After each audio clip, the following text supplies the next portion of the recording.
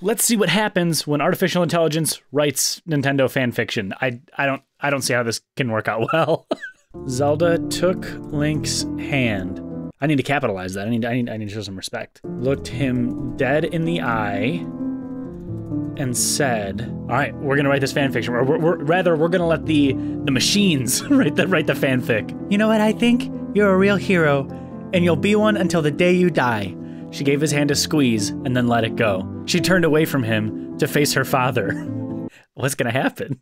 Dad, she said softly, I'm so sorry about everything that happened at Hyrule Castletown. I was wrong. If there's anything I can do to make up for my mistake, her father held up a hand to silence her. This is like, this is, uh, I'm gripped.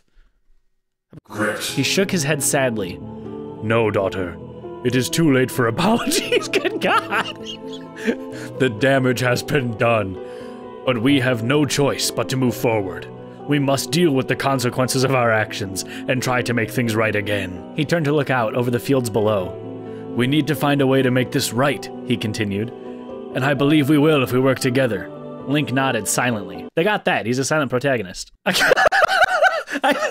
Ganondorf's here. Ganondorf is just there. I I have made some decisions, Ganondorf added. I don't know why that's my Ganondorf voice. The first thing I'm going to do is appoint you as my heir. Zelda's eyes widened in surprise. Ganondorf smiled at her. This is going somewhere. You see, I know how much you love me. And, and I know that you would never want to be apart from me. That is why I've decided to give you a job as my personal bodyguard. so, so so in this world, Zelda had done something at Hyrule Castle to piss off her dad. Link is just there. I, I tried to make him a part of the story, but Link is just there. Ganondorf is here offering Zelda a job. I love this. I'm a, I'm 100% here for this story. Whew. Oh my god, I'm actually crying a little bit. Zelda grinned back at him. That sounds like fun. What does it involve? Ganondorf looked at her sternly. Your new duties are to protect me from all harm, both physical and spiritual. You will accompany me everywhere, and you will keep watch over me constantly. If anyone should ever threaten me, you will defend me without hesitation or reservation. Zelda looked down at the ground. But hold on, wait a minute. In this lore, is Ganondorf Zelda's dad? I think that's what I think that's what's happening here. Zelda looked down at the ground. But dad, I, I don't know if I can do that. Okay, so Ganondorf, Ganondorf confirmed as Zelda's dad. You must, he insisted. This is your duty now. I don't like where this is going. Zelda nodded reluctantly. Good girl, he said, smiling proudly. This one's done. This one's done. That was going in a weird direction. We're gonna try something new. All right, so Mario and Sonic were going for a nice walk in Green Hill Zone when suddenly Sonic screamed at the top of his lungs, I've got it! I found it! He ran over to Mario. This is it! This is where we're gonna find the boss! What are you talking about? said Mario. Sonic pointed up to the sky. A large bird was flying above them. It looked like an eagle. Uh, that's not the boss! it's just a big bird!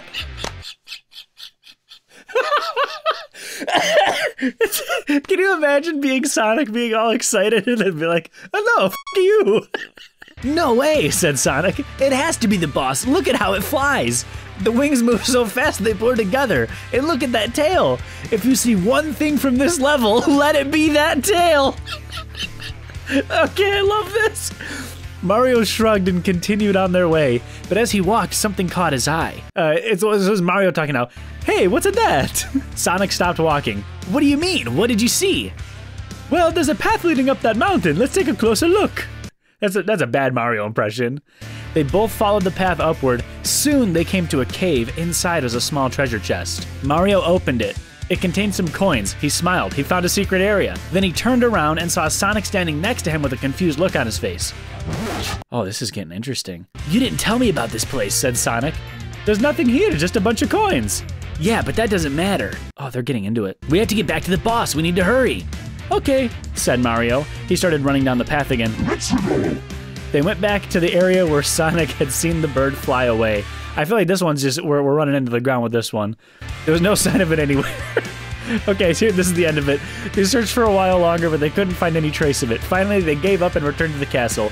As they entered the courtyard, they heard the sound of music coming from inside. That's nice. That's a little more wholesome. I like that.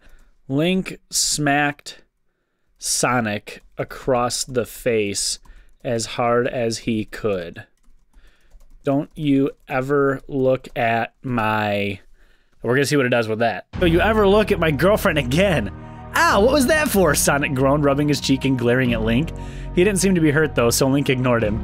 I can't believe you're doing this, Sonic said, shaking his head. You're really gonna let some stupid little kid beat you up? Shut up, you idiot! Link turned back to the portal. There's a portal? We have a job to do, remember? We can't just leave her. Oh, that's that's Link. we have a job to do, remember? We can't just leave her here like this. Wait, we're leaving someone here? I'm not gonna let her get taken away from me. Sonic stared at him in disbelief. Are you serious? She's an evil queen, and she tried to kill us both. So the evil queen is a kid that beat up Link. Got it. She did try to kill us, Link agreed, but we have no choice but to help her now. Otherwise, she'll never be able to get out of there. Yeah, yeah, Sonic muttered. Just go ahead and open it up already. I'm sure it won't hurt if you let yourself get sucked into another world with her.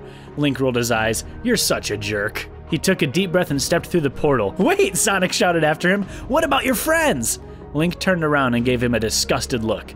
I told them to stay behind, he growled. And they should know better than to listen to me anyway. The portal closed behind him. The moment the portal snapped shut, a bolt of lightning struck it. The noise made Link jump and almost knocked him off his feet. He looked down to see the stone floor underneath him suddenly covered in grass. Geez, he grumbled, that was way too close. He okay, this is see, this is like getting too real. Like this could be like a novelization of The Legend of Zelda. Another awesome site for this is called Inferkit, so we're gonna try one on there real quick. Let's let's start with some drama. Okay, so we're we're we're getting right into it here. Shut the hell up, Zelda screamed. Link took off his hat and said, You're gonna pay for that. And the young man stumbled back onto his friends with a bloody nose and a black eye. What the hell did you call me? Zelda asked with some anger in her voice. You know the word I'm talking about, the young man who was later found to be Eric Padalecki 32 said in a breathless voice. You're gonna pay for that. You had it coming, Zelda said angrily. Nah, it's alright. I get what I want, the man said. Eric Padalecki, not not Link. You what? Nothing, he said. Good luck with that. You can try, he said. Link walked over and punched him in the face again. Oh, there's a, oh, so it is a third person. You're gonna pay for that. There's a lot of like. you're, you're gonna pay for that, he shouted.